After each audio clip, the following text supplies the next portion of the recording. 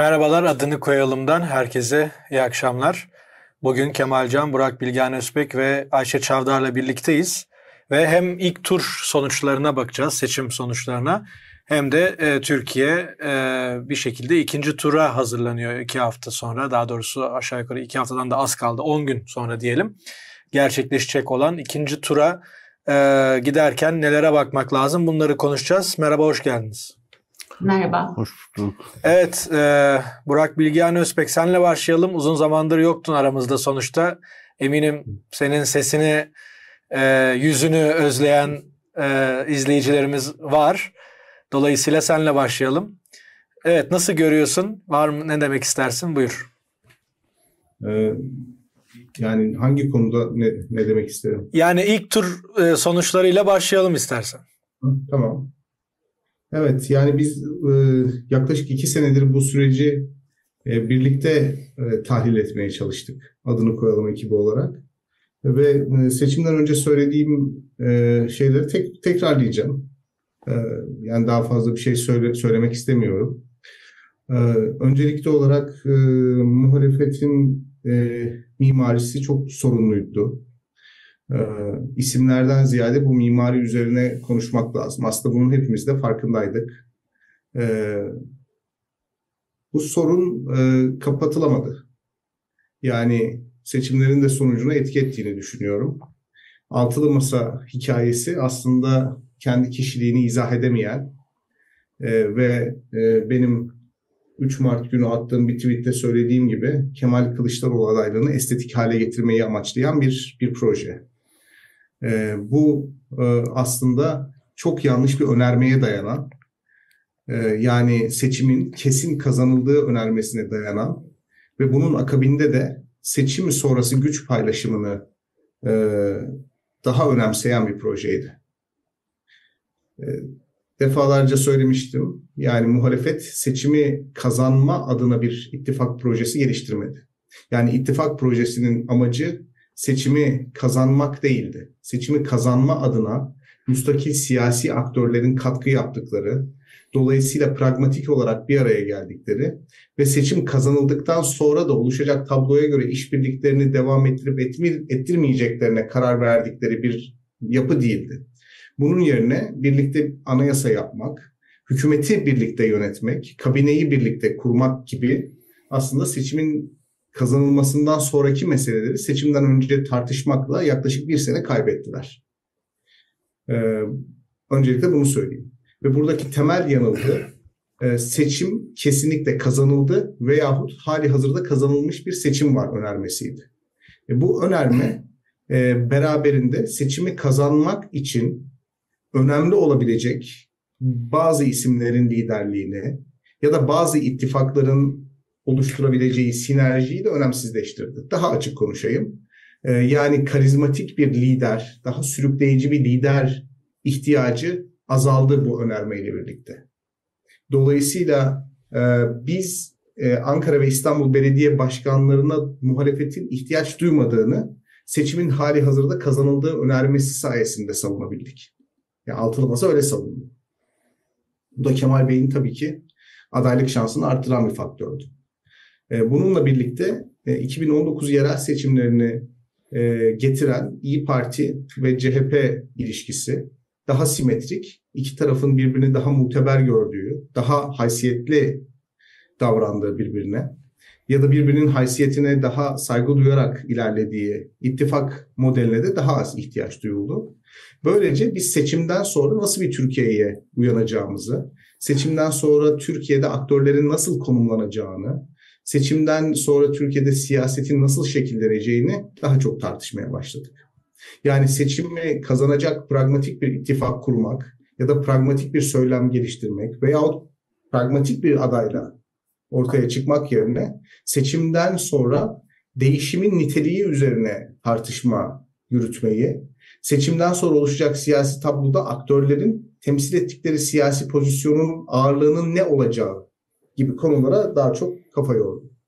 E, bence bize seçimi kaybettiren, e, daha doğrusu ilk turda Tayyip Erdoğan'ı %49,5 ile buluşturan e, hata da buydu. E, onu söylemek lazım. Bu tabii kendi içinde birçok izah edilmeyen konu barındırdı. Mesela seçimlerde gördüğümüz üzere muhalefete hiçbir oy katkısı olmayan dört tane küçük partinin aslında gereksiz yere taltif edildiğini gördük. Gereksiz iltifat edildiğini gördük bu aktörlere. Bu aktörlerin aslında e, bu iltifata mazhar olmasının sebeplerinden bir tanesi Kemal Bey'in adaylığını desteklemeleriydi. Bu da onların e, Cumhuriyet Halk Partisi listelerinden kontenjan almalarının bir karşılığı idi. Yani bunu çok daha net görüyoruz burada. E, bugün DEVA, Gelecek, Saadet Partileri ve Demokrat Parti aslında muhalefet ittifakına pek oy getirmediler. Hatta e, yanılmıyorsam Konda'nın bir anketinde herhangi bir Gelecek Partiliye veya Demokrat Partiliye rastlanmadı toplumda. Ben de kişisel olarak şunu söylemek isterim. Gelecek Partisi üyesi olmayan bir Gelecek Partiliyle tanışmadım hayatımda. Yani Ahmet Davutoğlu'na oy vermeyi düşünüyorum. Çok mantıklı konuşuyor. Beni temsil edecek politikaları var diyen bir kişiye bile rastlamadım. Aynı şekilde bir Demokrat Partiliye de rastlamadım. E, dijital ortamlar dışında bir Deva Partiliye de rastlamadım açıkçası. Bunu da söylemek isterim. E, o yüzden orada aslında altılı masa dediğimiz mekanizma Cumhuriyet Halk Partisi Genel Merkezi'ne son derece bağımlı. Kemal Bey'in lütfuna son derece muhtaç dört tane parti e, parti işaret ediyor. E, dolayısıyla altılı masa diye bir şey yok. O asimetrik ilişki masayı ikili masa haline getiriyor kaçınılmaz olarak.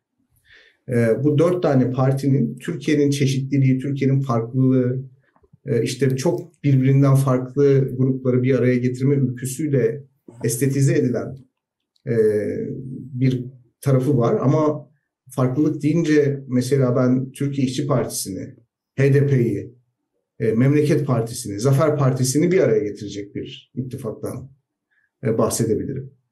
Yani Davutoğlu ve Babacan'ın birbirinden ne ölçüde farklı olduğunu e, çok mikroskopla falan görebiliriz.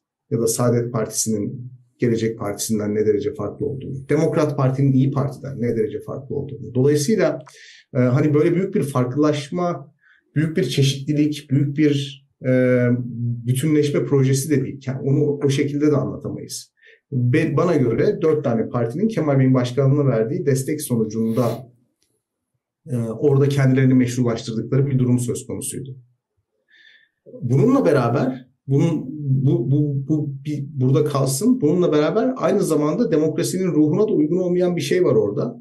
Seçimlerin kazanılacağına emin olunduğu için seçimlerden sonra bu aktörlerin dağılacak olan AK Parti'yi ya da dağılacak olan sağ seçmeni kendilerine çekeceği hesaplanıyor. Şimdi Edgar demokrasilerde makamlar, mevkiler, pozisyonlar e, alınan oylara göre e, tahsis edilir.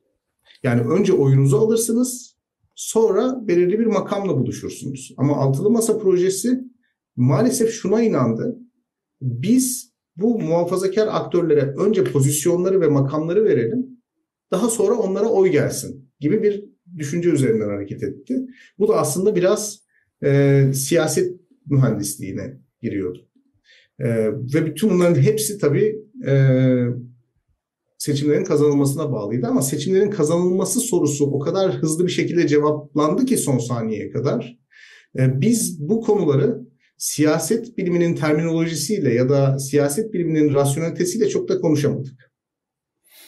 Hani baktığınız zaman e, yüzde bir oyu bile olmayan dört partiye 37 sandalye tahsis edilmesi aslında ciddi anlamda izaha muhtaç bir, bir iştir. Bunları konuşamadık maalesef. İyi Parti'nin de seçimden sonra nasıl konumlanacağına Cumhuriyet Halk Partisi karar verdi bu süreçte. Onu da söylemek lazım. Ee, yerel seçimlerde olduğu gibi müşterek bir proje içerisine girmek istemedi. Kemal Bey Meral Hanım'la baş başa karar vermek istemedi. Muhalefetin iki ana sütunu olmak istemedi ya da diğer ana sütun olma payesini İyi Parti'ye vermek istemedi seçimden sonra İyi Parti'nin o sağ siyasette kaplayacağı alanın olabildiğince kısıtlı olması arzu edildi. E, o yüzden başkan adayı belirlenirken Akşener'in yaptığı itirazlar pek etkili olmadı. Yani bu itirazlar etkili olmadığı için de e, İyi Parti'nin e, masaya dönerek e, kararsız seçmen ya da genel itibariyle bütün o sağ seçmen havuzundaki itibarı da aslında yerle bir oldu. Baktığınız zaman büyük resimde yani altılı masa e, bir arada kaldığı takdirde seçimi kazanır. Zaten bu hali hazırda kazanılmış bir seçim ve yapılması gereken tek şey bu bir aradalığı muhafaza etmek argümanına sadık kalarak ilerledi. Çünkü 6 Mart'ta Akşener masaya oturdu ve çok büyük bir hata yaptı bana sorarsanız.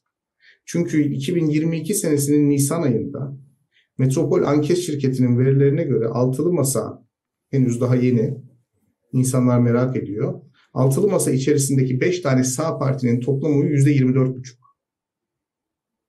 Yani 2022 22 senesinin Nisan ayında İyi Parti, Deva Partisi, Gelecek Partisi, Saadet Partisi ve Demokrat Parti'nin toplam oyu %24,5. Bugün geldiğimiz noktada bu partilerin toplamı %10. Bu bir sene içerisinde bahsettiğim sebeplerden dolayı itibarsızlaşan, omurgasını kaybeden, e, bir anlamda ortaya kişilik koyamayan, ortaya kişilik koyamaz hale getirilen bir muhalefet içinde sağ blok var. Ve bunların oyu %24,5'tan %10'a kadar düştü.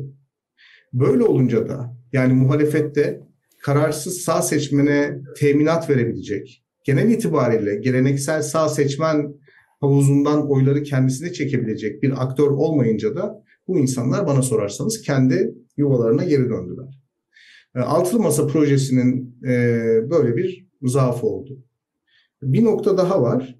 Altılı Masa'nın HDP ile kurduğu ilişki de çok sorunlu gerçekleşti. Çünkü Altılı Masa bir power sharing mekanizması yani gücü paylaştı. Biraz önce söylediğim gibi kabineyi seçimden önce kurdu. Ve Halil İbrahim sofrası dediğimiz şey e, akademisyen Salih Yasun'un deyimiyle aslında patrimonyal bir dağıtım mekanizması olarak da okunabilir.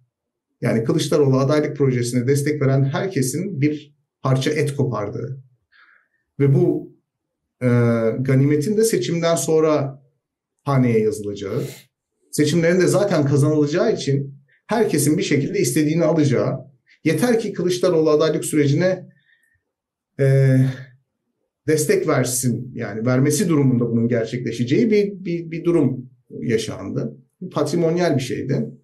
Ee, %0.1 oyuyla kabinede iki tane sandalye alan bir Demokrat Parti, %0.1 oyuyla kabinede iki sandalye alan bir Gelecek Partisi, %0.3 oyuyla kabinede iki sandalye alacak ve ekonomiyi yöneteceği söylenen bir Deva Partisi. Ee, aslında çok kolay izah edilebilen bir olgu değil.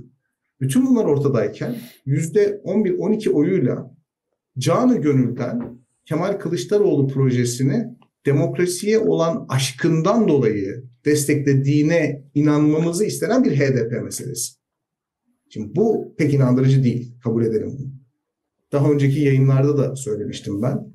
HDP'nin seçmeni muhalefetin asli unsurlarından bir tanesidir. Çözülmemiştir muhalefetin 2014'ten sonra özellikle, 2014'ten önce durum biraz daha farklıydı. 2014'ten sonra e, muhalefetin seçim kazanma umudunu canlı tutan şey HDP seçmeninin de muhalefete angaja olma isteğidir. HDP'li siyasetçiler buna uyum sağlamıştır. Fakat bunu doğru frame edemezsek, bunu doğru paketleyemezsek e, orada çok başarısız bir sonuca gideceğimizi düşünmüştüm. Bunu da bir süpermarket alışverişine benzetmiştim. Yani hijyen maddeleriyle gıda maddelerini yan yana koymazsınız alışverişten çıktığınız zaman. Çünkü birisi sızarsa diğerini zehirleyebilir. Yani hem deterjan dökülmüş olur hem de patatesler kimyasal e, etkiye maruz kaldıkları için yenmez hale gelir. Şimdi HDP'yi ittifaka almak dolayısıyla profesyonel teknik bir iş iyi ayarlanması gereken bir şeydi. Ee, İyi Parti'nin altılı masada olması ya da diğer sağ partilerin altılı masada olması HDP'nin de hiçbir şey almadan canı gönülden altılı masayı desteklemesi maalesef bu model değil. Bunu görüyoruz.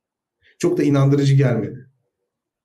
Dolayısıyla muhalefet seçimleri bir Tayyip Erdoğan referandumuna dönüştürmeyi amaçlarken Tayyip Erdoğan seçimleri bir PKK referandumuna dönüştürdü maalesef. İşte Kandil'in açıklamaları, HDP elitinin açıklamaları da buna buna destek oldu. Bir açıdan şunu da anlayabilmek lazım. HDP siyasetçilerini de anlamak lazım. Kendi tabanlarına işte Demokrat Parti iki sandalye alırken hiçbir şey almadan sadece demokrasiye olan sevgilerinden dolayı, Türkiye'yi demokratikleştirme aşklarından ve tutkularından dolayı Kemal Bey'in adaylığına destek verdiklerini bir şekilde izah etmek zorundalar. Orası da bir hayır kurumu değil takdir edersiniz ki. Ve bir şekilde onlar da bu izahatı yaparken 14 Mayıs sonrası çok daha güzel günlerin geleceğini kendileri açısından söylemeye başladılar. Bu da tabii ki milliyetçi seçmenleri oldukça rahatsız etti. Bunu söylemek lazım. Ben HDP'yi meşru bir parti olarak kabul eden CHP'yi aslında burada iki yüzlülükle suçlamaktan da imtina etmiyorum. Eğer meşru bir parti olarak kabul ediyorsanız gidip müzakerenizi yapın. Gidip müzakerenizi yapın. Yani müzakere yapmıyorsanız altılı masadaki müzakere modeli ortadayken de HDP'nin verdiği desteğin sadece demokrasi aşkından kaynaklandığını da söylemeyin. Yani açık açık müzakerenin yapılması gayet normaldir. HDP meşru bir partidir. Keşke yapılsaydı.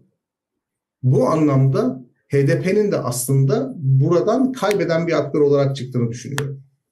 Günün sonunda İyi Parti'nin itibarsızlaştığı, HDP'nin oy kaybettiği, dolayısıyla tekil aktörlerin ve tabii o dört küçük partinin de bir anlamda siyasi rüşvetle angaje olduğunun toplum tarafından bilindiği, dolayısıyla muhalefet içerisindeki aktörlerin bir anlamda kendi tabanlarına karşı itibarsızlaştığı, güçsüz gözüktüğü veyahut potansiyel ulaşmaya çalıştıkları seçmenlere karşı mahcup olduğu, bir türlü kendilerini izah edemedikleri e, ve tekil aktörlerin güç kaybettiği, tekil aktörlerin güç kaybettiği için de kolektif olarak muhalefetin umulan oya ulaşmadığı bir durum yaşadık.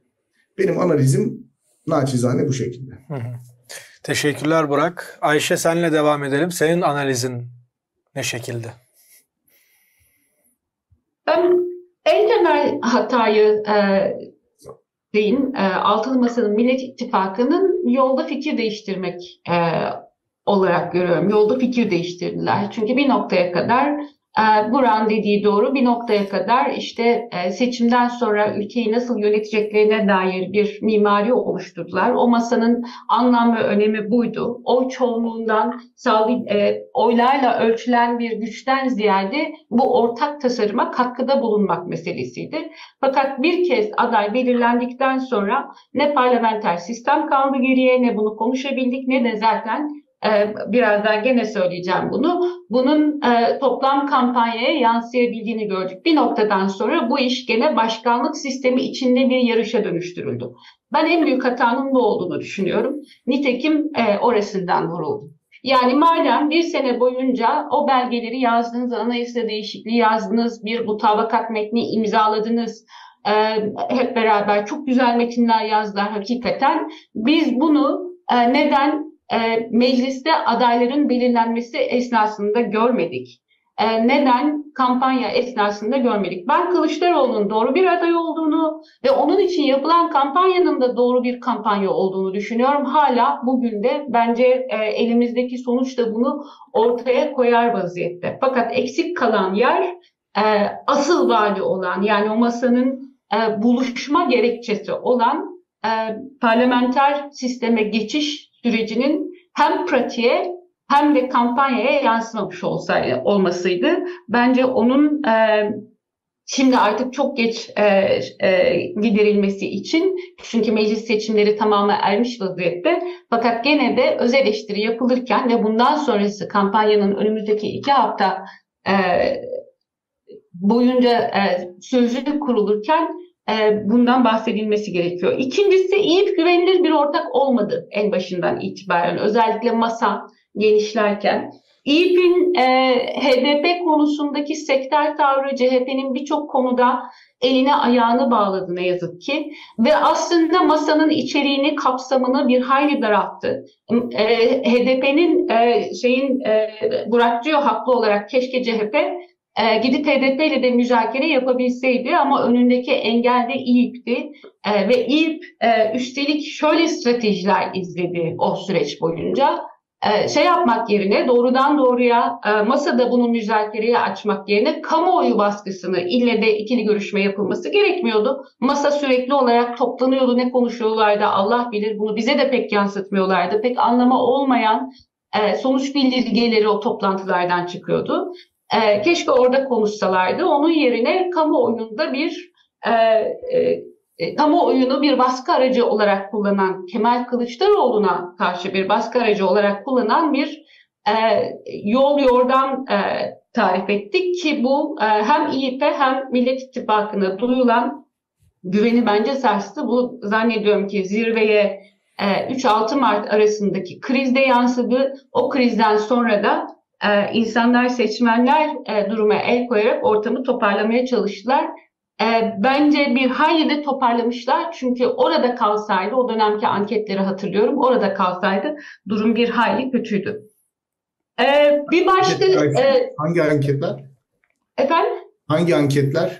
E, Nisan e, şey e, Mart ayında hemen sonrasında yapılan anketlerden Yani 4-5 Mart'ta yapılan Konda anketine göre evet. CHP %19.9'du. İyi Parti'de %16'ydı. Bir fark orada kalsaydı, orada kalsaydı kötüydü diyorum zaten. Toplam oyundan bahsediyorum. Mas- tek tek şeylerden değil. Tek tek tek tek partilerden değil. Toplam oydan bahsediyorum. Sonuçta Millet İttifakı olarak girdiler.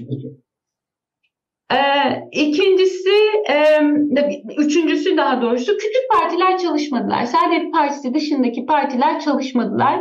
Ee, bundan sonraki aşamada bunun kendilerine e, sık sık hatırlatılması ve sahada çalışmalarının sağlanması gerekiyor belli ki. E, alacaklarını alıp köşeye çekilmiş gibi görünüyorlar. E, bu konuda kendileriyle e, yeniden bir müzakerenin yapılması lazım. Ee, şöyle bir e, vaziyet de var. Ee, tekrar az önce söylemiştim tekrar döneceğim diye. Ee, sadece küçük partiler değil. Ben CHP teşkilatlarının da yeterince bu işe asıldıklarını düşünmüyorum. Bunun nedeni de parlamenter sisteme dönüş sürecinin e, adaylıklara yansıtılmamış olması. Yani o adayların bir şekilde e, teşkilatları ve sahayı memnun edecek şekilde onların arzularını, isteklerini e, göz önünde bulundurur şekilde belirlememiş olması. Bence en gene tekrarlayacağım. E, bütün bir kampanya sürecinin en eksik ayağı parlament, parlamentonun, meclisin önemine dikkat yeterince çekememiş olmasıydı. Ee, aha, bir de e, son düzlükte karşımıza çıkan stratejik oy meselesi var. Bu özellikle e, e, büyük şehirlerde insanların kendi oylarından yapacakları e, e, seçimlerden, e, tercihlerden şüpheye düşmesine neden oldu ve e, bir bakıma bir, bir tür tedirginlikle e, e, seçime gitmelerine, oy vermeye gitmelerine neden oldu. Üstelik siyasi partiler arasında, sahada ve seçmenler arasında sürekli devam eden bir tartışma ve bir atışma e, ortamı yarattı. Ben bunun hem e, HDP'ye, YSP'ye hem e, MHP e, zarar verdiğini düşünüyorum.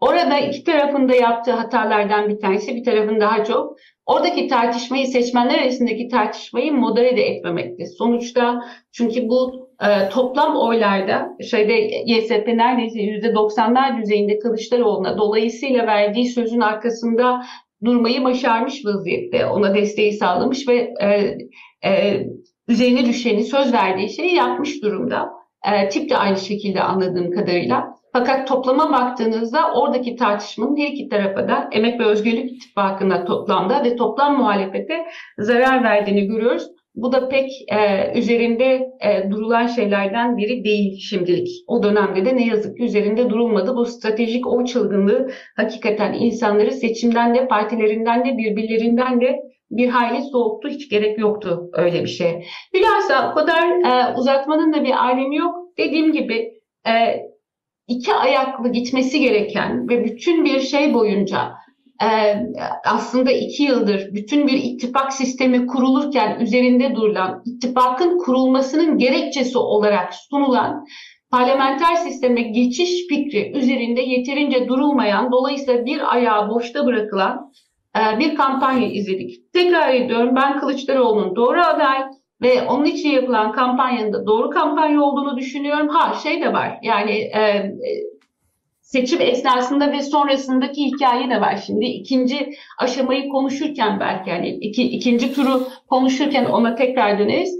E, ciddi bir iletişim problemi e, yaşadığını düşünüyorum. Şey, iletişimin örgütlenmesinde, e, bilginin şeffaflaştırılmasında, kamuoyu, kamuya ulaştırılmasında yaşanan problemlerin de çok ciddi bir moral bozukluğu, ikinci tura esasında geriden başlama, başlamaya neden olan bir moral bozukluğu yarattığını düşünüyorum. Onu halletmeleri gerekiyor. Bu böyle bir iki e, çok affedersiniz kelleye alarak olacak iş değil. E, mevzunun toptan e, ele alınması gerekiyor en baştan ve e, seçmenin ne aklının ne duygularının e, e, azımsanmaması, aşağılanmaması gerekiyor. Ben iki gündür umutsuz bir yerde de bırakmayayım. İlk aşamada sonuçta hani birinci tura, birinci turda neden alınamadığını konuşuyoruz. O yüzden böyle bir eleştiri akışı e, üzerinden gidiyoruz. Ben gene de hala umutsuz değilim. Çünkü dünden beri özellikle ki sosyal medyadaki o e, şeyle YSK ile ilgili iddialar vesaire falan konuşulurken orada da açıkça bir takım manipülatif hikayeler dönerken buna rağmen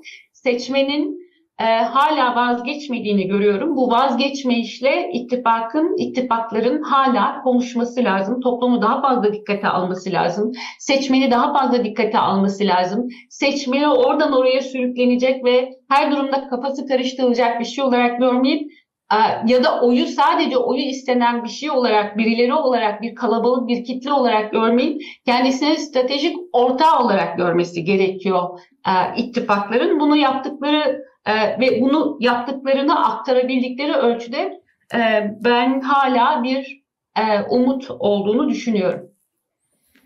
Teşekkürler Ayşe. Evet Kemal abi senin analizin. İkinci tur daha kısa bir tur olacak. Orada zaten olası ikinci turu e, konuşacağız. Şimdi biraz ilk tur uzun oluyor tabii. Çünkü seçim analizini yapıyor herkes. Buyur. Şimdi bir kere şuradan e, başlamak istiyorum. Pek çok taktik hata, e, stratejik hata, e, kişisel hatalar, pozisyonlanma e, problemleri, kampanya özellikleri, e, iç gerilimler, zaman kaybı filan pek çok e, faktör e, dikkate alınabilir ama bence e, bu tür e, problemler e, ortaya çıkan resmin tamamını anlamak için e, bize e, yeterli değil. Çünkü aslında bunun biraz daha altında daha yapısal bir mesele var ve aslında muhalefet ittifakının altılı masa ile ilgili tartışmaların ve oluşan sonucun e, önümüze koyduğu tablonun nelerin değiştiği, nelerin değişmediği üzerinden e, anlaşılabilmesi için hangi temel e, dinamiği, siyasetin biçimlendiği hangi temel dinamiği değiştirip değiştiremediği üzerinden bakmakla anlaşılacağını düşünüyorum. Şimdi daha önce epeyce uzun bir süre bu programın neredeyse çok büyük bir bölümü çoğu zaman altılı masanın e, toplantılarını, altılı masanın performansını e, konuşarak geçti. Ve onların neredeyse çok büyük bir bölümünde farklı sonuçlara varsak da genellikle ortaklaştığımız temel mesele bu biraz önce Burak'ın işaret ettiği sonrayı e, hesaplayarak e, yapılan e, pozisyonlanma, e, tartışma ya da e, operasyonel hamlelerdi. Çünkü aslında şöyle temel bir problem e, ortaya çıktı. Muhalefet ittifakının e, hem taktik hatalarında hem stratejik hatalarında hem pozisyonlanma e, problemlerinde. Önce koşu takımını yani bir, bir, bir arabanın önüne bir e, altı ya da daha fazla attan oluşan bir koşu takımı oluşturulması ve bütün bu koşu takımının oluşturulmasının becerilmesinin ardından bunu çekecek ara bu koşu takımının çekeceği arabanın tarifinin çok da önemli olmadığı önce bu koşu takımının doğru biçimde e, oluşturulması ve burada belirleyici olanın ne olacağının anlaşılması üzerine kurgulanmış çok uzun bir süreç geçirildi. Ve sürekli o zamandaki tartışmalarda e, biz bu sonraya ilişkin e, ne öneriyorsunuz, bunu toplumun önüne koymak lazım sözlerinin neredeyse tamamına verilen cevap sonrayı sonra konuşuruz. Biz önce bugün kazanma stratejimizi oluşturalım. Şimdi Burak bir tarafıyla altılı masanın problemini e, bir cephesiyle anlatıyor ama bu cephenin karşısında yer alan ve bunu tartışan ve aslında kazanma stratejisi diye ortaya konulup e, ileri sürülen bütün itirazların da aslında sonraya dair olduğunu. Yani sonraki paylaşıma dair olduğunu da biliyoruz. Dolayısıyla burada aslında bir taraf e, kazanma stratejisini tartıştı. Bir tarafta sonranın paylaşımını e, yürüttü değil. Aslında herkes tam da aslında kazanma stratejisini tartışıyorum diyerek e, denkleme giren ya da denklemden çıkmaya e, kalkan herkes de aslında sonranın e, projelerini yapıyor. Yani sonrayı toplumla konuşmak yerine kendilerinin ana meselesi yapan e, muhalefet aktörlerinin önümüze koyduğu bir resmi izleyerek geldik. Bunun çok önemli bir e, sonucu oldu. Bu seçim neyin seçimi sorusunun seçmende ve e, genel olarak yerleşikleşmiş e, toplumsal kabullerde kim tarafından belirleneceği meselesi boşlukta bırakıldı. Bunun halledilmiş olduğu yani e, ben hani kazanılacak seçim e, seçim kazanıldı e, kabulünden daha önemli olanın aslında Erdoğan'ın ekonomik özellikle ekonomik kriz bu konuda çok etkili oldu. Ekonomik kriz nedeniyle zaten Erdoğan'dan vazgeçmenin işte boş tencere iktidar götürür filan iddialarının zaten Erdoğan'dan vazgeçmiş bir kitle olduğu kabulünün yani daha yapısal alanda bu seçimin kazanılma ihtimaline ilişkin öngörülerin e, problemli olduğunu düşünüyorum. Hatırlanırsa yine epeyce önce bu ekonomik kriz çıkıp daha sonra Erdoğan tarafından çoğunlukla muhalefetin alaya aldığı e, bir tane ekonomiyi düzeltme programı diye açıklanan ve ekonomik krizin kendisini ve sonuçlarını başka bir politik zeminde kendisinin kontrol edebileceği bir yere çeken e, tutumu sonrasında hem bazı araştırmalar da bunun sonuçlarını vermişti hem de burada konuştuğumuzu hatırlıyorum. Ekonomik krizin rasyonel biçimde yaratabileceği sonuçlardan başka bir e, rota yaratabileceğini e, konuştuğumuzu hatırlıyorum. Hatta buna ilişkin bir takım veriler de ortaya çıkmıştı. Ve sürekli olarak ondan sonra çok iyimser anketlerde de, çok kötümser anketlerde de seçmen nezdinde sürekli ya bu kadar büyük ekonomik kriz varken neden bu kadar az oy kaybı var? İşte kimileri bunun yeterince ekonominin konuşulmadığına yoruyordu. Kimi işte muhalefet ittifakının kendi e, tezlerini, kendi iddialarını ya da bu liyakat e, yok liyakatsiz e, kadrolar meselesini öne çıkartarak kendi kadrosunu göstermediği için olduğunu söylüyordu. Ama aslında problem tartışılan şeyin ya da seçmen nezdinde karar verilecek şeyin ne olduğuna iktidarın hala e, iktidarın elindeki bir e, araç halinde olmasıydı. Ve son düzlüğe de böyle girdik. Erdoğan referandum hani Burak şey diyor Erdoğan referandumu mu işte şey mi e, bölücülük tehlikesi e, meselesi mi e, ayrımı ya da bir takım e, yorumcuların iddia ettiği gibi korku e, ikliminin ya da güvenlik kaygısının tekrar e, öne çıkması mı olduğu e, tartışmasındaki temel soru bence bu. Ama bence buradaki problem e, muhalefet iddiasının asıl geleceği e, konuşma perspektifini e, toplumun önünden kaçırıp onlarla bunu çok geç konuşmaya başladı. Kılıçdaroğlu'nun kampanyasının başladığı son düzlükteki e, birkaç haftaya sıkışmış bir gelecek tarifi vardı. Onun öncesinde geleceği sonra bakalım. E, onu kağıtlara yazdık biz. Onu geldiğimiz zaman zaten yapacağız demekten ileri gitmeyen ama bütün e, şeyini, bütün enerjisini de işte geleceğin e, tanzimi ama idari anlamdaki tanzimine e, veren, tartışmalarını da böyle yapan, e, seçim kazanma stratejilerini de bunun üzerine kuran, isimler üzerindeki tartışmaları da böyle e, devam ettiren bir yapıydı. Yani aslında e, gelecek ve bugün tartışmasını seçmenle paylaşan ve asıl olarak seçmenin bu seçimde kendi geleceğiyle ilgili bir karar vereceği ve o geleceğiyle ilgili vereceği kararda bugün ve gelecek hakkındaki fikirlerini oluşturacak şeyi kurmadı, kuramadı e, büyük ölçüde e, muhalefet.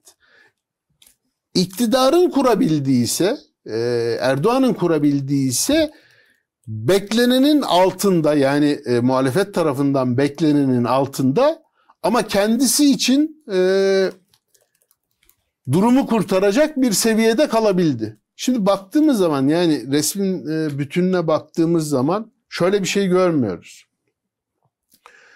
Evet e, muhalefetin araştırmalar ya da e, anketler ya da genel beklentiler e, seviyesinde bir sonuç alamadığını görüyoruz. Bunun da önemli bir hayal kırıklığı yarattığını görüyoruz. Ama daha önceki tabloya göre baktığımızda yani bir önceki seçimin tablosuna göre baktığımızda aslında yeterli bulunmayan bir değişim de görüyoruz. Yani işte AKP'nin oylarında yüzde yedi, Erdoğan'ın oylarında üç buçuk seviyesinde bir iniş var. Bu ne demek aslında?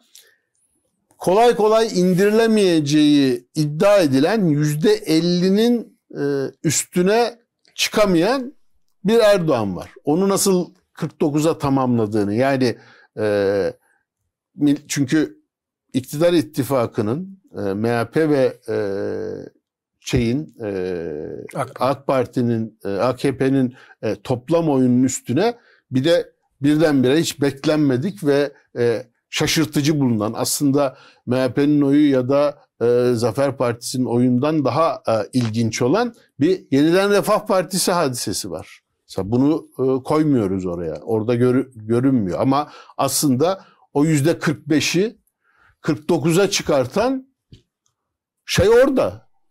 Yani Hüdapar artı şeyi koyduğun zaman zaten o fazlayı oluşturan o kovaya, e, o havuza e, birkaç kova su getiren bir şeyi görüyoruz.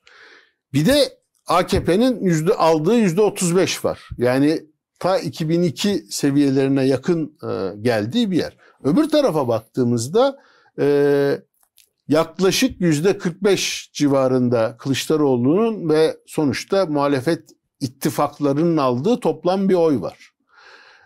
Burada nispi olarak partilerin tek tek e, kaybettikleri, kazandıkları e, kısmına bakılabilir ama bir e, en azından 2018'in direncinin altına inmiş e, bir seviye görmüyoruz. Yani tekrar onay almış bir iktidar tablosu görmüyoruz. Sadece bu arada geçen sürede 5 yıl içerisinde olup bitenle rasyonel olarak olması gereken arasında bir açı olduğunu düşünüyoruz.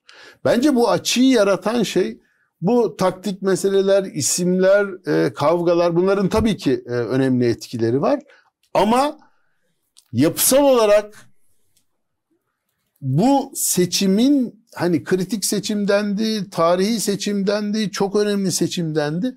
Tam da aslında bunun yani sonranın bu pencereden anlatılamaması ya da anlatılmış olsa bile doğru yollarla anlatılmadığı için ya da alıcısının buna hazır olmadığı için karşılık bulmadığı bir durumla yüz yüzeyiz. Dolayısıyla bunun yapısal bir tarafı var. Şimdi çok yaygın bir şey var ya işte halka şey yapılmaz hani kızılmaz filan. Tamam kızılmaz yani kimseye kızılmaz o ayrı bir şey yani hani ama şöyle de bir hakikat var. Bu sürecin dönüştürdüğü bir toplumsal siyasal vasat olduğunu da yok farz edemeyiz. Çünkü mesela şöyle bir şey söyleniyor ya yani işte e, çoğu kurgu olan bir takım videolar yayınlayarak e, bir takım reaksiyonları kışkırttı. Ama şöyle bir şey olduğuna inanmak için bir nedenim yok benim ve bunu e, hani e, çok inandırıcı bulan biri de olduğunu sanmıyorum. Sahiden işte Karayılan'ın Kılıçdaroğlu'nun videosunda oynadığına inanan bir seçmen aa deyip oyunu değiştirmiş falan olduğuna inanmıyorum. Tam tersine bu parametrenin geçerli olduğunu e, kabul eden ve aslında bunun doğru olmadığını bilmesine rağmen bunun doğrunun yerine konmasına rıza gösteren bir durum var, bir vasat var. Bu da yetenekle ilgili bir şey değil, güçle ilgili bir şey. Dolayısıyla bu gerçeği görmeden yani taktik alanda e, çözülecek e, bir takım hamle avantajlarıyla bunu aşmak kolay değil. O yüzden ben e, son düzlükte birazcık yapılan e, ama e, sanıyorum işte e, etkisini çok e, zayıf gösterebildiği asıl olarak biz neyi oyluyoruz ve geleceği siyasi aktörlerin paylaşımı dışında bu toplumun geleceği olarak e, bir resim olarak koymakta e, eksik kalındığını ve bu eksikliğin e, beklenen e, değişim e, enerjisini üretmediğini düşünüyorum. Açıkçası gördüğüm e, resim bu. Ama baktığım zaman da hiçbir şeyin değişmediğini görmüyorum. Bir kere değişim arzusunun e, hala yerinde durduğunu, yani yıllar önce konuştuğumuz gibi hatta referandumdan beri yüzde ellisinin hani yüzde elli bir taraftaysa öbür yüzde ellinin biraz daha da artarak bir e, direnç noktasında durduğunu, buna karşılık iktidarın hala son derece riskli yeni e, müttefikler bularak ancak e, o e, sayıyı tekrar tutturabildiğini hatta o sayının da altına doğru indiğini görüyorum. Aslında e, bu, bu, bu pencereden baktığımda e, bana e, sonuç rahatsız edici ama e, tamamen her şeyin e, başkalaştığını e, düşündüren bir tablo değil. Evet teşekkürler Kemal abi. Şimdi ikinci tura doğru Türkiye gidiyor. Ee, her ne kadar da e, Cumhurbaşkanı Erdoğan'ın %50'ye çok yakın da olsa oyu sonuç itibariyle anayasa gereği ikinci tura gidilecek. İkinci turda bir oylama yapılacak. E, ilk turda e, muhalefet için yapılacak yorumlardan herhalde en kesini şu. Bir referanduma çeviremediler ilk turu muhalefet öyle gözüküyor. Ee, izlenen stratejinin uygulanma biçimi belli ki seçmeni buna yönlendiremedi. İkinci turda ise aslında bir referandum var ama referandum nasıl insanlara anlatılacak, ne yapılacak? Yani sonuçtan bağımsız olarak e, kim neyi istiyor meselesine daha iyi bir cevap olacak ikinci tur aslında ister istemez. Yani şöyle diyelim Erdoğan da muhalefet de e, ama daha çok Erdoğan için bunu söyleyebiliriz. Özellikle de ikinci tur kazanması halinde benim aslında oyum şu kadar diye söylediği oyun ikinci turda olacağını göreceğiz. Bu çok önemli bir e, şey. Bu iki tarafı da motive eden bir şey olabilir. Kim daha az e, motivasyon eksikliğiyle girecek, kim daha çok motive olacak falan. Bunların da e, belirleyici olduğu, kazanmanın ötesinde motivasyonların da önemli olabileceği bir ikinci tura doğru gidiyoruz. Evet Burak senle başlayalım ama bu turu daha kısa yapalım mümkünse. Zaten ikinci turla ilgili söyleyecek söz daha azdır diye düşünüyorum. O, o bizim programda olmuyor Edgar. ben onu hala kabullenemedim. Kaç hafta oldu? Öyle bir program değil. Ayşe dedi ki Kemal Bey'in doğru aday olduğuna inanıyorum. Ben Ayşe Çavdar'ın doğru aday olduğuna inanıyorum. Çünkü Ayşe Çavdar da seçimi kazanamadı. Kemal Kılıçdaroğlu da seçimi kazanamadı. Karşılaştırdığım zaman Ayşe'nin çok daha zeki, çok daha kültürlü ve bazı konularda çok daha karakterli olduğunu düşünüyorum. Yani benim için doğru aday şu anda Ayşe Çavdar. Yani anlatabiliyor muyum? Allah yani korusun. o açıdan hani baktığımız zaman ya benim perspektifim doğru adayın hakikaten bu cehennemin kapılarını kapatan aday olmasıydı. E, ve bunu yapamayan, bunu başaramayan aday doğru aday değildir. Onu söylemem lazım.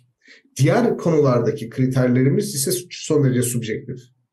Yani Kemal Bey'e atfettiğimiz ya da vehmettiğimiz bir e, karakter ya da bir temsilcilik e, özelliğinden yola çıkarak bizde yaşattığı tatmin duygusuna bakarak bunu söylüyoruz.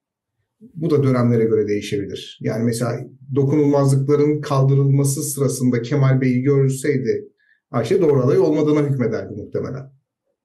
Öyle değil mi? Yani Birazdan söyleyeceğim. Sen sözünü tamamla birazdan Evet. söyle. Ya o açıdan baktığımız zaman hani bu cehennemin kapılarını kapatmak gerekiyordu. O mimari meselesi de şöyle yani İyi Parti ve HDP'nin bu projede bir arada olması gerekirdi. Ancak dediğim gibi güç bölüşümü anlaşması üzerinden bir muhalefet inşa ettiğiniz zaman bunlar birbirini zehirleyen e, aktörler oluyor. E, bu şöyle bir şey. E, şu ana kadar yaptığımız seçimlerde başkan aday, adayları kendi kişisel kaderlerini yaşadılar. Yani seçimleri kaybetmek başkan adaylarının kendi kişisel problemiydi. İşte Muharrem İnce depresyona girdi. Ekmelettin İhsanoğlu çekildi.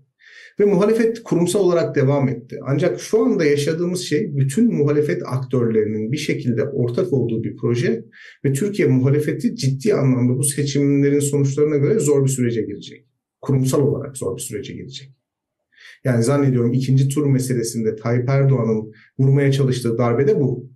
Yani olabildiğince yüksek bir oy alarak e, Türkiye muhalefetini yerel seçimlere kadar ayağa kalkamaz hale getirmek.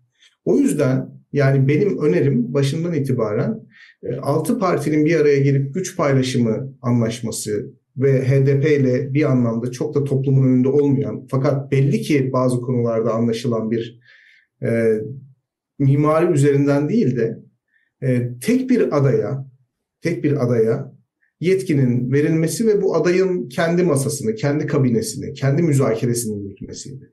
Bunun tehlikelerinin de farkındayım. Yani onu da söyleyeyim. Hani Kemal abi onu biraz e, sonra öncenin devamı meselesinde biraz onu ima etti. Bu bunun tehlikesinin farkındayım. Fakat abartıldığını düşünüyorum.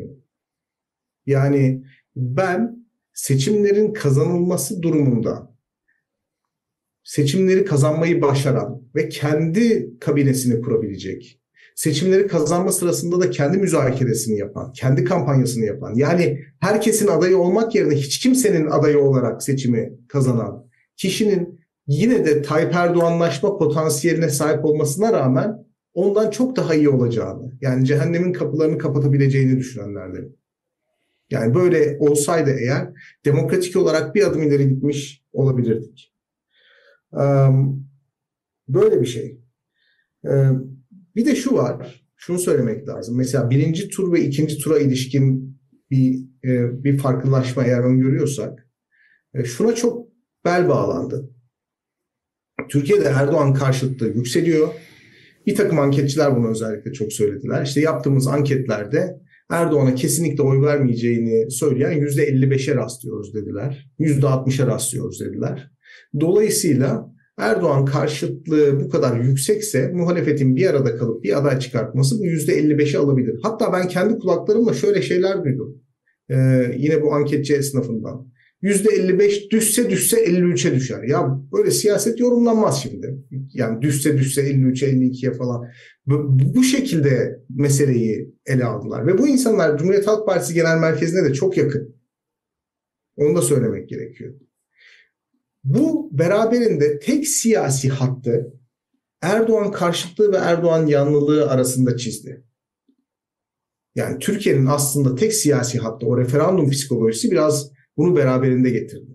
Erdoğan karşıtlığı, Erdoğan yanlılığı üzerinden hattı çizdiğiniz zaman şöyle bir ön kabulle hareket ediyorsunuz. Yani büyük şehirlerde yaşayan, Erdoğan yönetiminin gadrine uğramış bir insanın öfkesiyle AKP'nin ülkeyi idare etme biçimini beğenmeyen, oyunu değiştirme niyetine sahip olan Sivas'ta, Kayseri'de, Elazığ'da, Erzurum'da yaşayan herhangi birisinin öfkesini aynı kabul ediyorsunuz. Birincisi öfke farklılaşıyor. Yani doğrudan hükümetin gadrine uğramış bir akademisyen diyelim daha farklı bir öfke duyuyor. Kararsız Erdoğan'ın işte ülkeyi yönetme biçiminden memnun olmayan fakat geçmişte Erdoğan'a da oy vermiş ama oyunun rengini de değiştirebilecek birisi başka bir öfke duyuyor. Daha alt seviye bir öfke duyuyor. Aynı öfke seviyesi değil. İkincisi ekonomik sıkıntılar büyük şehirlerde yaşayan insanları perişan etmiş durumda. Büyük şehirlerdeki özellikle sabit maaşlı insanları perişan etmiş durumda. Fakat baktığınız zaman taşraya indikçe aslında durumun pek de büyük şehirlerde olduğu kadar vahim olmadığını anlıyorsunuz. Yani insanlar e, işte Ankara'da yaşayan bir öğretmen kadar e, işte Bitlis'te yaşayan bir öğretmen sıkıntı çekmiyor. İktisadi olarak sıkıntı çekmiyor. Ev kiraları farklı, ulaşım maliyetleri farklı, gıda enflasyonu farklı. Dolayısıyla tepkileri de farklılaşabiliyor. Bu referandum psikolojisine eğer gir, girerseniz orada öyle bir siyasi hat inşa etmek zorundasınız ki yüzde 50 artı birin aynı eşit huzursuzluğa, eşit mutsuzluğa sahip olacağı bir zemin inşa edebilirsiniz. Bunu önerebilirsiniz. Ee, bunu yapmak lazım. Nasıl yapılır bilmiyorum açıkçası ben. Yani hele ikinci tur öncesi hiç bilmiyorum. Onu söyleyeyim. Yani elimizde sihirli bir değnek yok. Ee, fakat cennetin kapılarını açma seçimi değil, cehennemin kapılarını kapatma seçimi psikolojisinin iktidar tarafından da bir referandum psikolojisi mevzu bahis olunca iktidar tarafından da ziyadesiyle kullanıldığını söylemek lazım. Yani bütün bu aday belirleme süreci, oradaki itiş kakış, Muharrem İnce'yi adaylıktan çektirme hezeyanları, e, işte kamuoyunda dönen tartışmalar, bu sürece dahil olan ve Kemal Kılıçdaroğlu adaylığını kendi normalleşmesi için fırsat gören Erdoğan yönetiminin gözünde kriminal olarak gözüken kişiler, yani bütün bunların dahli, öyle söyleyeyim. E, AKP seçmeni için de bir cehennemin kapılarını kapatma mevzusuna dönüşüyor. O yüzden ikinci turda evet herkes şunun farkında yani bu projenin dışında yeni bir siyasi hat ve siyasi ikilem sunmak zorundayız. Yeni bir dost düşman tanımı sunmak zorundayız. Mesela son zamanlarda konuşulan Sinan Oga'nın muhalefet e, mimarisine dahil edilmesi, muhalefet bloğuna dahil edilmesi. Ya daha ne kadar fazla aktör dahil edeceksiniz? Yani bu stratejinin yanlış olduğunu anlamanız için daha ne kadar fazla paydaş davet edip ona power sharing mekanizmasından bir pay vereceksiniz? Bunlar çok yanlış stratejiler. Yani paydaş azaltmak daha mantıklı olabilir aslında. Yeni paydaş elde etmek, yeni paydaş davet etmekten ziyade. Mesela bu tip şeyler yani bu bu bu davetler çok yaratıcı bir ikilem sunmadığınız sürece hiçbir işe yaramıyor. Hiçbir işe yaramıyor. Ve bunu da maalesef çok geç kaldı sunmak için. Benim kafam çok karıştı. Vatandaşların da kafası çok karıştı. Yani bu bir ce- cehennemin kapısını kapatma seçimi ise niçin Kemal Kılıçdaroğlu aday ve ahlaki bir söylemle ortada. Değişimi müjdeleyen bir peygamber gibi elinde asasıyla gökten iniyor. Burada bir cenneti cennetin kapısını açma meselesi de var. Ve biliyoruz ki kiminin cenneti başka birisinin cehennemi oluyor bu ülkede. Onu da biliyoruz. E, o yüzden böyle bir zero sum game yaratmadan, sıfır toplamlı bir oyun yaratmadan ya da eğer yaratılacaksa da olabildiğince maksimum kazanç sağlayan insanlardan oluşan bir koalisyon inşa ederek bir şeyler, bir, bir ikilem sunmak lazımdı. E, bunu maalesef yapmakta geç kaldık. İkinci tur öncesi benim söyleyebileceğim hiçbir şey yok Edgar. Yani %49,5 oy almış bir iktidar var. Motivasyonu büyük oranda düşmüş bir muhalefet seçmeni var. Ve şu anda anlıyoruz ki o anketlerde bize gösterilen ikinci tur anketlerinin tamamı gayri bilimsel. Yani ikinci tur anketi ikinci turdan önce yapılmalı. Birinci turdan önce yapılmamalı. Yani şu anda geldiğimiz noktada biz katılım oranının düşeceğini, motivasyonun düşeceğini, iktidarın kazandığını bütün Anadolu köylerinde, kasabalarında bangır bangır bağırarak artık herhangi bir fire istemediğini söylediğini hesaba katmalıyız. Yani çok az kaldı hükümetin kazanması için, AKP'nin kazanması için, Erdoğan'ın kazanması için daha doğrusu. Dolayısıyla orada bir tren kalkıyor. Şu ana kadar muhalefete oy vermiş, kararsız kalmış insanlar da muhtemelen bu trene atlamak isteyeceklerdir. Herhangi bir yaratıcı kampanya, herhangi bir pozitif söylem, çok ekstra bir durum olmadıktan sonra bunu tersine çeviremeyecek maalesef. Bu yüzden de bir ay öncesinden yapılan iki, ikinci tur anketlerinin falan ne kadar anlamsız olduğunu da anlıyoruz. Ve benim bu programda önerebileceğim sihirli bir formül yok. Temennilerinden başka yani. Temenni ederim ki muhalefet kazansın ama bunun yeterli olmayacağını biliyorum. Teşekkürler e, Burak. Evet Ayşe ikinci tur. Valla önce Burak teşekkür ederim teveccüh için ama yok almayayım sağ olasın. Ee, eğer aramızdan bir e, seçim yapacak olsaydık herhalde sen de benim adaylarım arasında olurdun ama aramızdan seçim yapmıyoruz. Sonuçta mevcut siyasi bağlam içerisinden e, içerisinde ortaya çıkmış bir takım adaylar aday adayları arasında bir e, tercih yapılmak zorundaydı.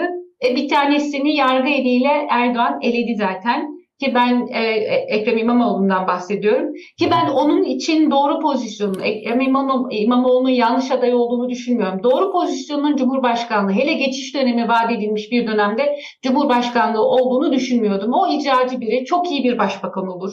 Hakikaten iyi bir başbakan olur. İleride Meral Akşener'e rakip olacağı için de kendisini hakikaten rakip olarak da çok beğeniyorum. Ama Cumhurbaşkanlığı pozisyonu öyle bir pozisyon değildi. Başka bir şeye ihtiyaç vardı orada ve Kılıçdaroğlu'nda da vardı o. Kılıçdaroğlu'na da benim böyle hani full e, her şeyle beğendiğim bir lider olduğunu vesaire falan söyleyemem Kılıçdaroğlu'nun. Elbette değil ama mevcut aktörler arasından e, birini belirleyecektik. Yoksa hani e, şeyde uzaydan inmeyecekti bize dediğin gibi cennetten gönderilmeyecekti. Mansur Yavaş'a ise başından itibaren itirazım vardı.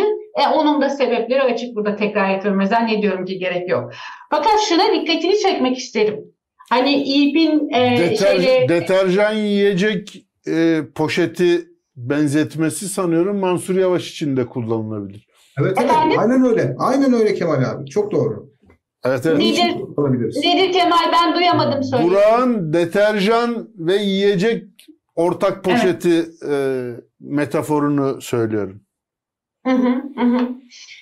Ee, doğru diyorsun yani hani e, Mansur Yavaş'a başından itibaren bir kere şey Ot Orman'ın içerisinden Melih Gökçe'nin geçirdiği e, şey yolu onun devam ettirmesi e, gibi bir sebep bile bana yeter anlatabiliyor muyum? Ya ama bana yeter. Sonuçta elimizdeki e, aday, adayları bunlardı. İçlerindeki bence en uygun olanı da Cumhurbaşkanlığı şeysi için Ekrem İmamoğlu'nu harcamamak için e, o dönemin sıkıntıları içerisinde bence Kemal Kılıçdaroğlu'ydu. Ayrıca e, şeyi de söylemek isterim. Başka bir referansında Game of Thrones'un son bölümüdür. Hiç kimsenin so- sevmediği son bölüm.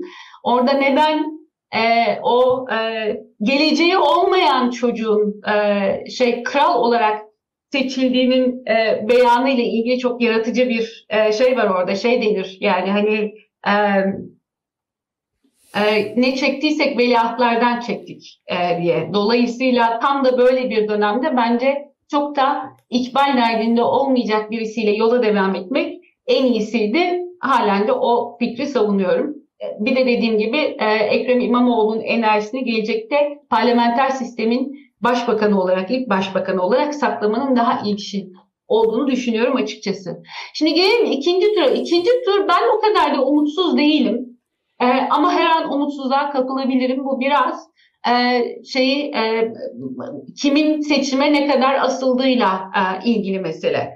E, Bugün mesela Muharrem Erkek dünkü e, şaibe iddialarıyla ilgili çıktı konuştu ama sorulara cevap vermedi. Böyle bir böyle bir hakkı yok artık CHP'nin. CHP'nin bütün sorulara cevap vermesi gerekiyor. Hatta önerim olur ki iki saatte bir, iki sözcü basın sözcüsü sesinden iki saatte bir. O esnada nasıl bir tartışma sürüyorsa o tartışmayla ilgili pozisyonu ve arka plan bilgilerini CHP paylaşsın.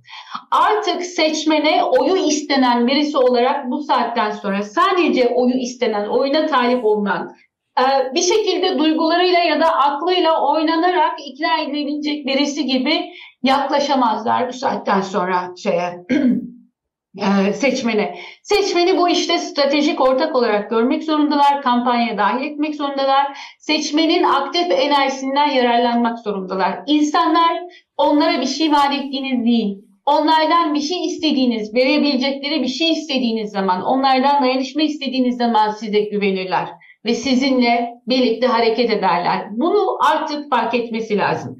Ben ekonomik vaatler e, konusunda biraz aşırıya bile kaçıldığını düşünüyorum. Denge iyi sağlanmadı. Ekonomik va- vaatlerle bizi nasıl bir hayat bekliyor? Sonuçta 20 yıldır, 21 yıldır devam eden ve giderek ufkumuzu kapatan bir iktidarla karşı karşıyayız. Bizi nasıl bir gelecek beklediği konusunun o ekonomik vaatlerle yan yana iç içe birbirlerine e, birbirlerine övülerek verilmesi gerekiyor şu aşamadan sonra. Ve uzun uzun videolar, uzun uzun vaat listelerine vesaire falan değil. Bizim imajlara, imgelere ihtiyacımız var. Geleceğe dair birlikte birbirimizin gözünün içine baktığımız zaman çok da fazla konuşmadan anlayacağımız ve anlaşacağımız, ortaklaşacağımız mevzulara ihtiyaç var. Bu böyle iletişim ekibini değiştirerek vesaire olacak bir şey değil. Dediğim gibi e, baştan kötü bir şey yaptılar. Yani o kadar zaman emek verdikleri parlamenter sisteme geçiş meselesini başkan adayı belirlendikten sonra neredeyse paketleyip kenara koydular. Onu bir geri çağırabilirler mesela. Ne anlama gelecek? Şu kadar pragmatik olunabilir mesela parlamenter sistem benim ne işime yarayacak diyen e, seçmene diyebilirsiniz ki senin sadece senin şu anda e, seçtiğin vekillerin hiçbir işlevi yok. E, ille de reisin etrafından birilerine ulaşmak zorundasın. Vekilini arayıp onu uykusuz bırakabileceksin, çalıştırabileceksin bile denilebilir. Parlamenter sistem seçmene hatırlatılabilir. Biz oraya doğru gidiyoruz denilebilir.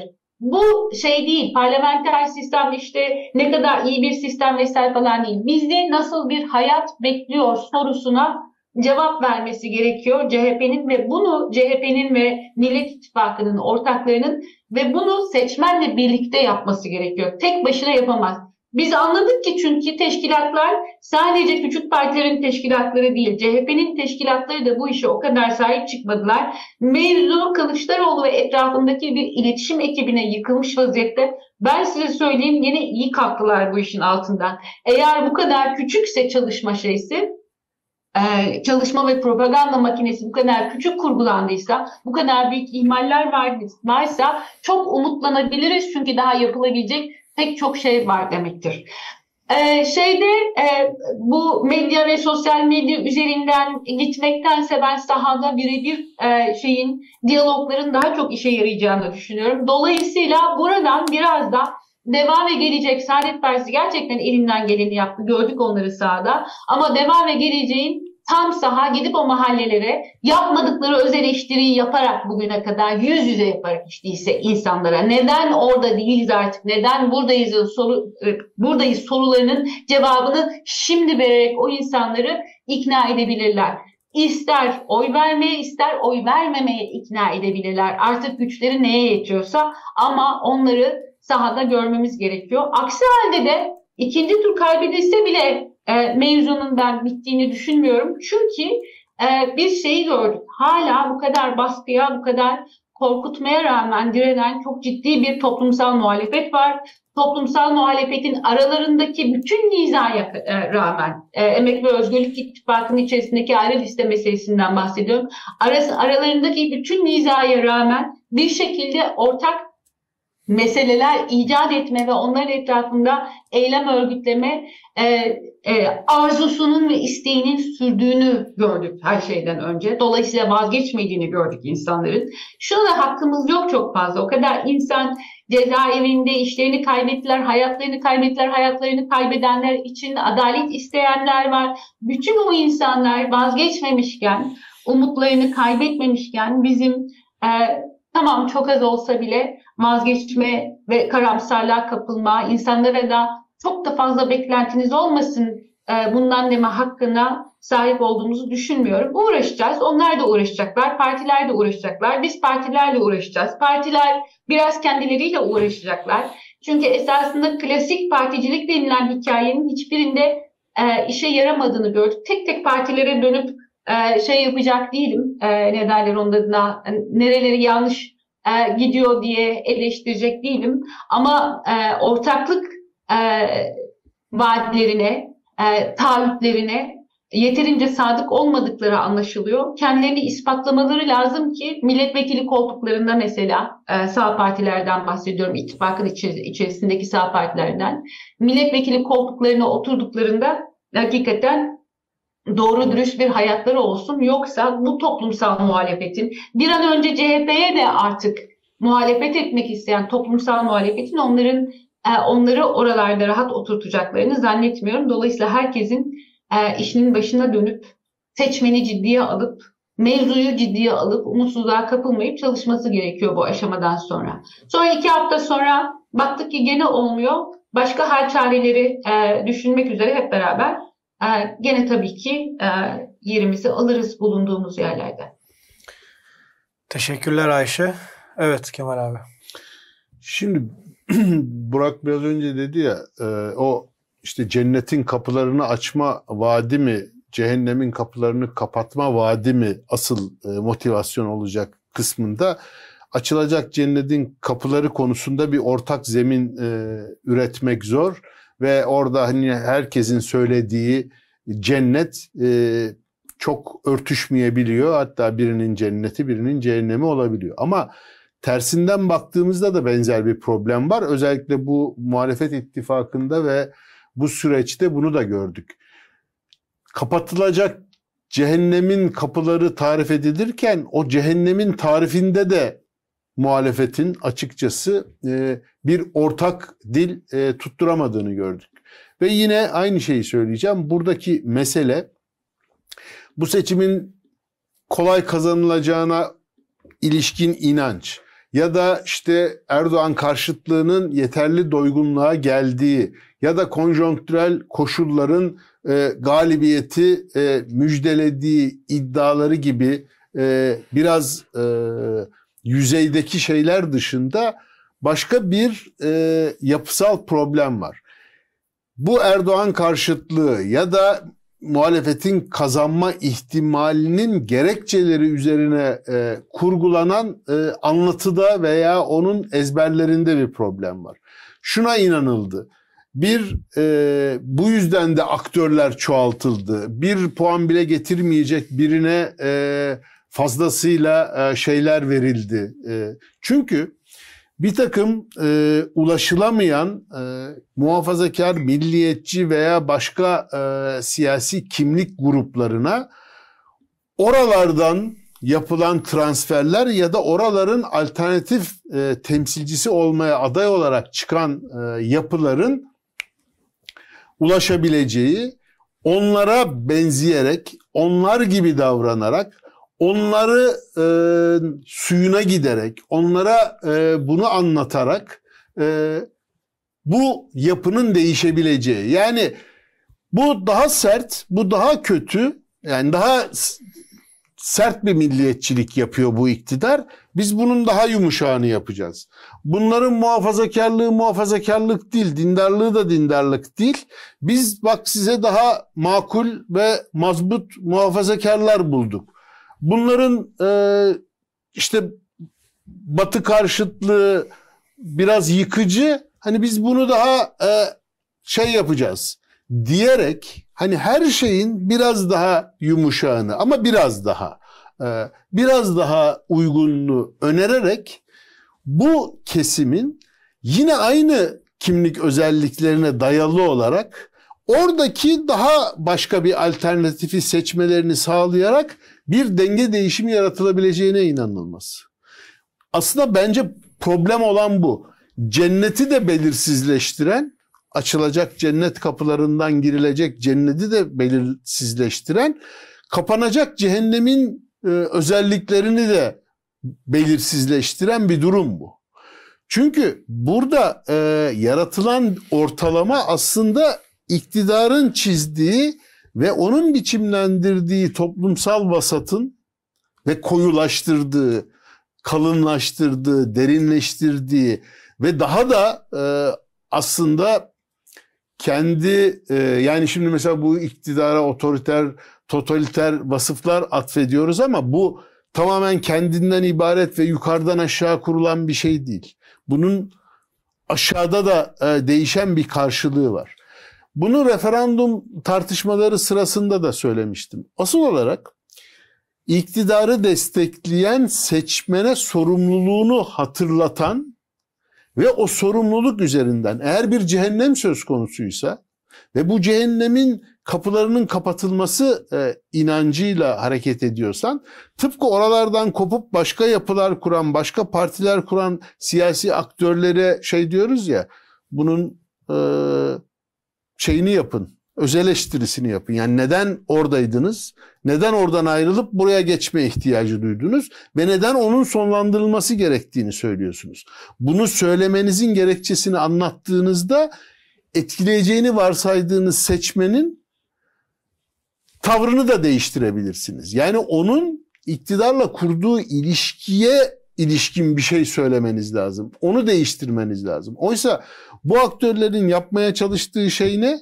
Gidip oraya ya biz varız, biz e, olacağımız için sizin bir endişeye kapılmanız gerekmiyor ve biz sizi orada temsil etmeye devam edeceğiz. Sizin aslında bir yanlışınız yok. Bu e, bu e, bulunan siyasi kimliğin e, içinde bulunduğunuz siyasi kimliğin alternatif olarak bizi seçin. Bunu söyleyerek ve e, ana muhalefet gövdesindeki diğer aktörleri zararsız olduğuna inandırmaya çalışarak. İşte bu e, Kılıçdaroğlu sizin başörtünüzü e, yasaklamayacak yeniden demeyi işte sağlayacak bir takım aktörler gibi e, rol almaya çalışmalarıyla çözüleceğine inanır.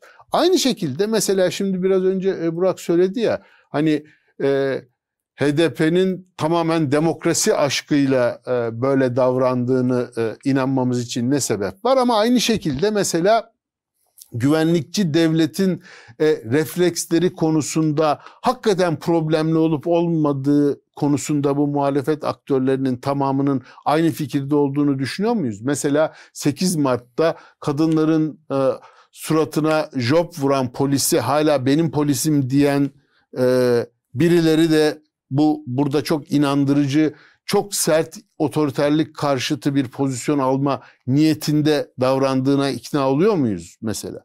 Dolayısıyla bunlar asıl olarak seçmenin de dahil olduğu bir e, anlayışın, bir e, yapısal durumun tartışmaya açılmasıyla mümkündü. Bunun da hem siyasi aktörlerin öz ilgisi var hem bu siyasi aktörlerin kendi ilişki kurabileceklerini iddia ettikleri tabanla e, nasıl iletişim kurdukları, onlara hangi lafı taşıdıkları ile ilişkisi var. Üçüncüsü eğer Erdoğan karşıtlığı ve cehennemin kapılarını kapatmak perspektifi öncelikli perspektifse cehennemi oluşturan şeyin anlatımında bir ortaklık kurulması. Bu altılı masanın e, son birkaç ortak mitinginde kürsüye çıkan 8 kişinin anlattıklarına bakalım. Cehennem üzerine ya da bu iktidar hakkında anlattıklarına bakalım. Birisi sihalarla e, füze yağdırıyor, öbürü e, başka bir şey anlatıyor, biri başka bir şey anlatıyor. Dolayısıyla şimdi iki hafta bunun için yeter mi yetmez mi bilmiyorum ama asıl olarak iktidarın seçmeni. Evet diğer aktörlerle mi ilişki kurarak e, bu yüzde ellinin bu tarafının konsolidasyonu ve motivasyonu sağlanır ayrı bir şey. O konuda Burak'a katılıyorum. Yani bu aktörler bazında sağlanacak bir şey değil. Ama asıl olarak iktidarın bu sefer için kendini kurtaracak sınıra taşıyabildiği e, toparlanmayı e, açacak şey bence oradaki e, kütlenin neye neden olduğu ve neye oy verdiği ile ilgili sorumluluğunun onlara hatırlatılması. Bence e, bu konuda e, şey iki hafta e, yeterli olmayabilir. En azından ama netleşme e, bir sonuç verebilir ve daha önemlisi her ne yapılacaksa, her ne strateji ortaya konulacaksa bunun çok hızlı realize edilmesi ve konuşmaya başlaması lazım muhalefetin. Bir son olarak bu ikinci tur meselesi şimdi çok tartışılıyor ve spekülasyonlara da e, neden olan bir şey var. E, 40 şimdi çalındı çalınmadı meseleleri dışında 49,5 sınırındaki bir şey e, ilk turda e, bitirme gayreti e, gösterebilir miydi e, iktidar filan diye. Yani ikinci turu nasıl kullanmak isteyecek tartışması. İster bunu e, maksatlı yaptı, ister mecburiyetten yaptı. Ama ikinci tur stratejisini ben e, çok ciddi biçimde daha önce de geçerli olan ve bizzat Erdoğan'ın dile getirdiği yerli ve milli muhalefet üretme perspektifiyle ilişkili olarak kurgulayacağını düşünüyorum. Yani e, ilk turda kendi yapısal sorunları yüzünden muhalefete yaşatabildiği e, problemi devam ettirecek. Onu bu ikinci turdan sonra e, oluşacak zeminde e, birlikte durma zorlukları içerisine itecek e, bir e, strateji yürüteceğini ve bunun e, cevabını üretemeyen e, bir e, tutum alırsa, bir strateji geliştirirse e, muhalefetin ikinci turu alsa da almasa da bundan zarar göreceğini e, düşünüyorum. Çünkü artık e, yapısal olarak şöyle bir e, noktaya doğru gitmiş durumdayız. İktidar e, Erdoğan yüzde 49, yüzde 50'nin üstüne çıkamayan bir oyu korudu. E, AKP 34'e inmesine rağmen e, bir e, blok tutuyor ama şu çok daha belirleyici. Bugün artık iktidar kombinasyonu kurulan e, yeni ittifak ortaklı e, e, eklenen yeni ittifak ortaklarıyla birlikte ve e, söylemin sertliği itibarıyla artık daha önce konuştuğumuz, daha önce üzerine e, tartıştığımız e, toplumsal ve siyasal vasatın çok daha e, ucuna doğru kaymış, çok daha koyulaşmış, çok daha sertleşmiş bir şey. Bunun karşısındaki alanın da e, direncine rağmen bir bütünlük e, oluşturamaması durumunda bundan sonraki süreç ikinci tur nasıl biterse bitsin çok sıkıntılı olacak. Yani e, geleceği kendi aralarında çözmek yerine e, bence e, kampanyanın parçası haline getirseler ve kendi aralarındaki meseleyi ister ayrılarak ister birleşerek ama çok daha önce çözmüş olsalardı hem birinci turun e, tablosu başka türlü olurdu hem e, şimdi ikinci turuk belki konuşmuyor olurduk. Ama şimdi yine aynı resimden gidilmesi, aynı parametrelerin yani hangi aktörleri dahil edelim ki onların yani şu ya da bu nedenle bizim ikna edemediğimiz birilerini bize birileri getirsin yaklaşımının çok anlamlı olmadığını düşünüyorum. Bunun sonuç vermediğini, biz biz bir şey söylediğimizle e, şeyini değiştiremiyoruz, e, ilişkisini değiştiremiyoruz iktidarla ilişkisini. Bunu yapacak birini bulalım. E, formülünün e, çok geçerli olmadığını e, o altılı masadaki bütün partilerin ben buna e, İyi Parti'yi de dahil ediyorum aldığı performans itibarıyla çünkü baktığımız zaman anket sonuçlarını bir kenara bırakalım ama 2018'de bugüne baktığımızda o iktidar bloğunda rahatsızlık duymuş milliyetçi seçmeni bu tarafa getirmek konusunda bir artış gösterememiş. iddia ettiği merkez e, toparlanmasını ya da iktidar bloğundaki e, işte bu sağ kayıştan rahatsız olan kitleyi kendine çekebilecek bir performans gösterebilmiş değil. Diğerleri hiçbir performans gösterebilmiş değil. Şimdi anketleri onun için kıyaslama verisi olarak kullanmak istemiyorum. Burak gerçi daha önceden verdi. Hani orada bir e, kaymayı ama yani şimdi hangi e, anketi referans alacağız? Ya da bir anketin o, o konuda söylediğini referans alıp e, seçimle ilgili yaptıklarını almayacak mıyız gibi bir e, sıkıntı var. Onun için o kısmına girmiyorum. Seçim sonuçları itibariyle bakıyorum.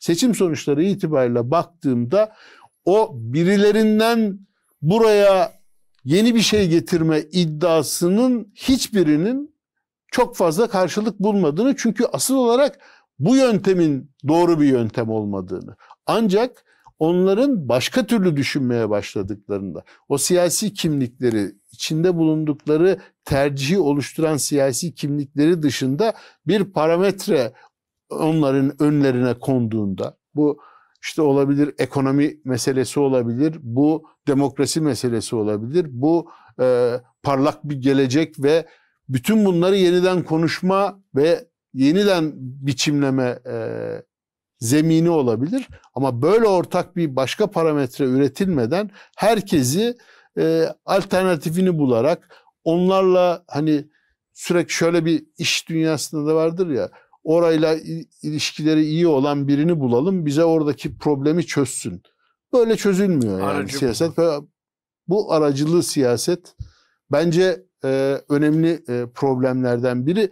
Yine ikinci turda böyle çözmeye kalkmak e, efektif gelmiyor bana. Evet. O iki e, ya o, öyle mi düşünülüyor? Onunla ilgili de henüz tam bir netlik yok. Hayır yani şu anki sorun netlik zaten, olmaması. Zaten şu anda bir şey olmadığı için evet. biz varsayımlar üzerine konuşuyoruz. Hani Evet.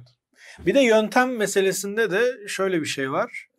Ee, şimdi seçim sonuçları ortaya çıktıktan sonra uygulanan yöntemin yanlış olduğunu söylemek zaten kolay ama hani yöntemin uygulamaları var, farklı yöntemler. Bu çünkü şey dünyada bu tarz otoriter rejimler var. Bunlara karşı elde edilmiş seçim galibiyetleri var. Hatta seçimle e, kısmen rejimi değiştirmeyi başaran örnekler de var. E, bence biraz daha zoom yapıp hani yöntemlerdeki hatalara bakmak lazım.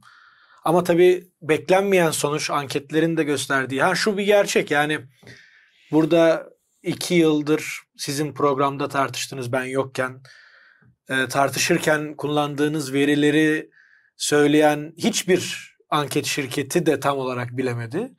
E, bu da e, kimsenin suçu değil. Şey yani e, çünkü bu şirketler aynı zamanda saygı değer olarak bilinen iyi kötü güvenilen şirketlerdi zaten. Bir şey ekleyebilir miyim Edgar? Bir şey söyleyebilir miyim? Evet. Bizim anket yöntemiyle de bence bir hesaplaşmamız, yüzleşmemiz lazım. Ya yani ben etnografi yaptığım halde e, şeyi biliyorum sahada araştırma lafına eder etmez insanlarda bir sizi manipüle etme isteği e, uyanıyor. Ne zamandır? Anket denilen, araştırma denilen şeyin hegemonik içeriğinden dolayı. Manipülatif bile demiyorum. Hegemonya kurucu içeriğinden dolayı onunla oynamayı zevk ediniyor insanlar.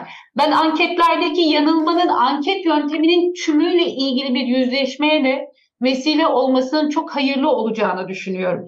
Çünkü geçtiğimiz e, e, seneler boyunca anketler siyasetin çok önemli bir göstergesi oldu. Hatta siyasi partiler dünya görüşlerini bırakıp anketlere bakarak kendilerine yol çizmeye çalıştılar.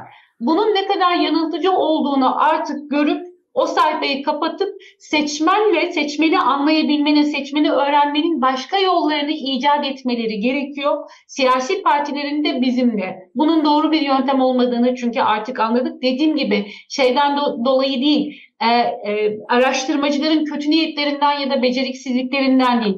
Bu yöntem artık bir yöntem olmadığı için, geçerli bir yöntem olmadığı için bence. Ki kaldı ki Türkiye'de ki bu otoriter e, mevzu e, şey atmosfer içerisinde anket yapmak iyice zor.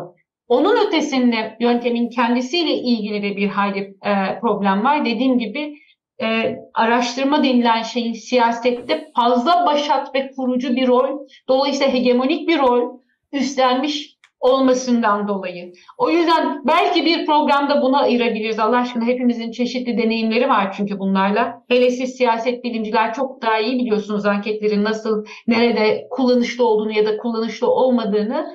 Belki bunu da ayrıca bir programda konuşuruz. Bununla yüzleşilmesi gerekiyor ama orası net. Peki çok teşekkürler. Evet, e, bayağı uzun bir program oldu. Ee, hepinizin çünkü ağzına sen sağlık. Sen de Ruşen gibi, çünkü sen de Ruşen gibi arkadaşlar kısa tutalım diye başladın. Evet. Bu Bunu yapmayın. evet. evet Burak çok teşekkürler sen de geldiğin için haftalar sonra. Ee, Kemalcan, Ayşe Çavdar size de çok teşekkürler. Bütün izleyicilerimize de teşekkürler bizi izlediğiniz için. Herkese iyi geceler.